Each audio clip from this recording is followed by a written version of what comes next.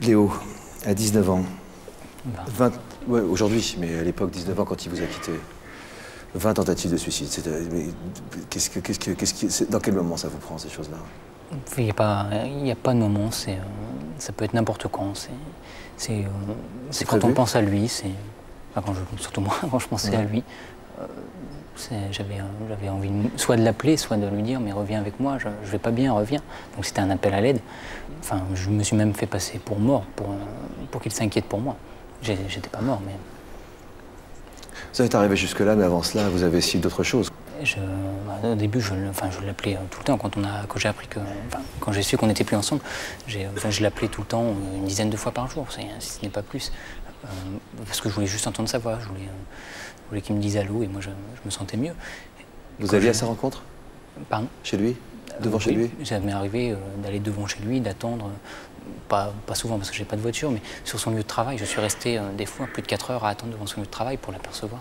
Un jeune homme de votre âge? Oui. C'est une rupture qui date d'il y a environ un an. Vous êtes passé aussi par une phase où vous vouliez vous venger? Oui. Il y a.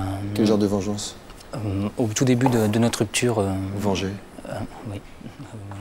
Et euh, son père n'était pas au courant que, que mon ex était gay, donc euh, je me suis dit, bah, puisque tu me fais ça, ben, je vais prévenir ton père. Ça, c'est la classe américaine. hein. Ouais. Donc euh, bah, je ne l'ai pas appelé parce que j'étais pas- j'étais trop lâche pour le faire. J'ai envoyé un message comme on peut faire sur les fixes en disant, voilà, votre fils, euh, votre fils est homo. oui. Ah, bravo de l'assumer en tout cas. De toute façon, pas bah, je l'ai fait, j'ai pas le choix. Ah si, si, il y a des gens qui ne le reconnaîtraient pas. Non, non. Vous le referiez?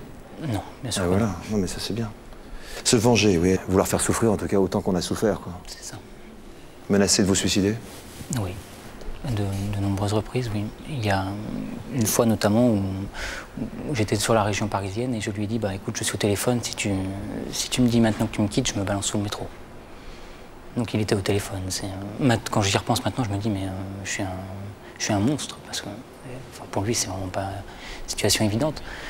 Et donc il a eu euh, la sagesse de, de dire bah écoute, on va en reparler. euh, bah, donc on, Mais vous étiez à proximité du métro? Ah, j'étais, sur, le, sur le bord du métro, J'attendais. J'attendais sa réponse. Et je l'aurais fait. Je pense que je l'aurais fait, ouais. Donc il m'a dit, bah écoute, on va en reparler ce soir, euh, j'attends que tu te calmes. Donc le temps est passé, puis il m'a dit qu'il me quittait, j'étais plus au bord d'un métro. Mais...